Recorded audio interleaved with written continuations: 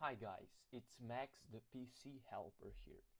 Today I'm gonna show you how to fix this problem. This content is not available in your location.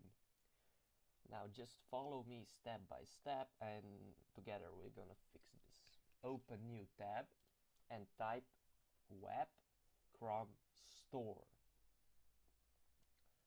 Just open that and search the store for change my IP just type change my IP and now you're going to see extensions and hide my IP you see this the yellow one. And click add to Chrome. And add extension. Okay now it's added. Close this um, you can also close this tab and you see this in in the right top corner.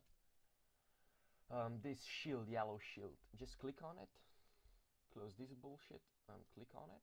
And register. I'm already registered so I'm just I'm just gonna log in.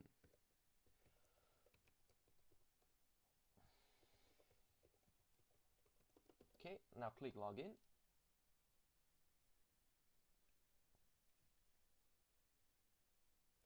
Now pick location, um, um, usually pick United States for sites that are um, from United States and pick, I don't know, Russia if the sites are from Russia, you know, you know what I mean. So USA um, means United States.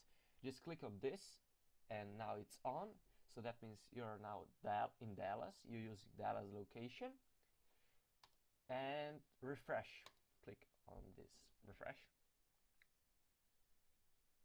the page the page is gonna refresh and I'm gonna show you that the video is now working. Okay click on it and the first gonna be ad but video bang video is working and so thank you guys for watching and if you got any other problems with your PC just tell me and I'm gonna help you fix it